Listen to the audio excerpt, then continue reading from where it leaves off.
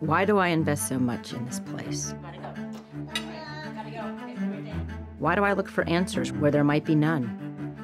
Why am I inspired to educate the next brilliant minds in healthcare? Yeah, so that's a great question. At Duke Health, patients experience the unifying power of all of us. Because what we do every day is important, but why we do it is everything. I'm Dr. Susanna Naggie, and you're why.